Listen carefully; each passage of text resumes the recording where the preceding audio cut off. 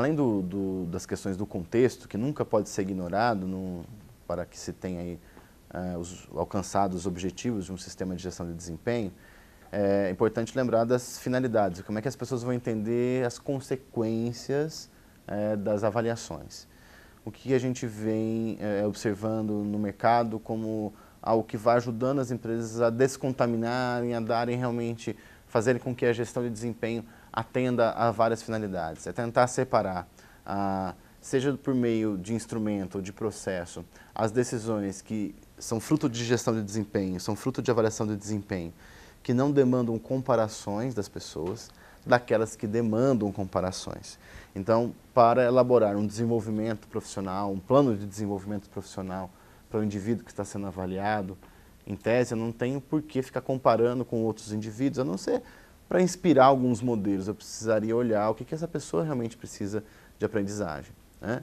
Agora, quando eu vou, como é muito comum, tanto no público como no privado, quando eu vou conceder é, aumentos, eu tenho ali uma restrição de verba, é, eu posso ter várias pessoas que mereceriam, mas é, justamente por conta de uma limitação de recurso, eu vou ter que ter algum critério a mais que mostre quem merece mais neste momento ou neste ciclo.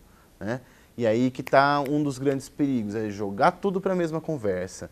Se as pessoas, se as empresas e organizações não conseguem separar minimamente esta, essas decisões, aquela avaliação, aquele momento de feedback individual tá, vai estar tá totalmente contaminado pelas decisões comparativas, pelos receios de ser avaliado, pelo, por um possível pacto de mediocridade, a gente é tudo colega, né? não vamos incomodar um ou outro, ou por uma confusão de que passou no concurso público, ele já é bom. Com certeza o profissional se destacou, mas concurso público é provimento. Né? A gente não está falando de desempenho e entender que o concurso público de hoje vai garantir o desempenho por 20, 25, 30 anos de um profissional, num contexto que o trabalho vai mudando ao longo do tempo, é realmente uma visão muito pequena, limitada do fenômeno do desempenho, né, da, das questões da gestão de desempenho.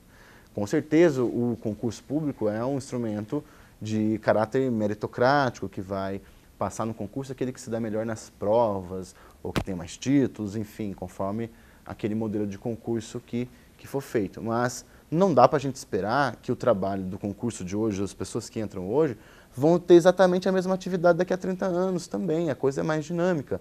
Antigamente, os auditores fiscais da Fazenda faziam muito mais o trabalho em campo, na rua, né, fazendo fiscalizações em loco. Né. Hoje, com a tecnologia, isso não é tão necessário mais. Né. Então, o cargo ainda é o mesmo. Né? O escopo geral do cargo, as grandes responsabilidades, são as mesmas, mas a forma de atuação e a, o resultado que se pode alcançar são totalmente diferentes né, de quando os auditores que já estão aí na carreira há 20 anos entraram. Então não dá para a gente ter ilusão de que o concurso público resolveu o problema de desempenho. Ele vai atacar a questão do provimento, basicamente. Né? Ele vai é, ser um instrumento para é, é, tornar mais meritocrático o, o provimento. Agora, meritocracia é uma palavra bastante utilizada e não é de hoje. Né? Pelo menos no plano das intenções, tanto no serviço público quanto no privado, aí no serviço público temos vários exemplos, né? Desde o Estatuto do Servidor Público, né?